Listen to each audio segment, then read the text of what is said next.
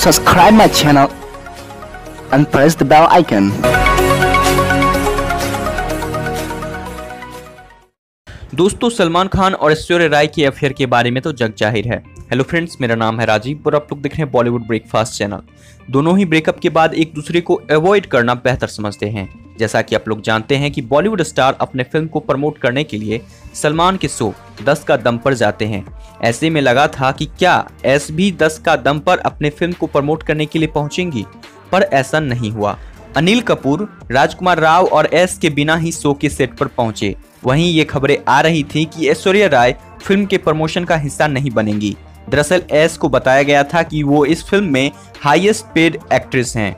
वहीं उन्हें कुछ दिन पहले ही इस बात की जानकारी हुई कि उनसे ज़्यादा राजकुमार राव और अनिल कपूर को पे किया जा रहा है। फिर क्या था? ऐश्वर्या राय को यह बात धोखा लगा और वो जल्द से जल्द प्रोड्यूसर्स से मिलने की तैयारी में हैं। वहीं इस फ़िल्म के प्रोड्यूसर्स प्रेरणा अरोरा और भूषण कुमार के बीच इस फ़िल्म को लेकर काफ़ी कंट्रोवर्सी हो गई है। ऐसे में फ़िल्म की रिलीज़ से पहले ही फ़िल्म कंट्रोवर्सी से पूरी तरह से घिर गई है। फ़िलहाल इस रिपोर्ट में इतना ही। जैसे ही मेरे पास आगे कोई भी रिपोर्ट आती है तो हम आप लोग को ज़रूर बताएँगे। अगर आप नए विजिटर हैं तो इस चैनल को सब्सक्राइब कीजिए और इस चैनल के साथ बने रहिए।